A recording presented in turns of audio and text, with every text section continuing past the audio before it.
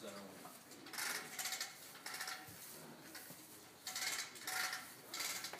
All right, sweetheart.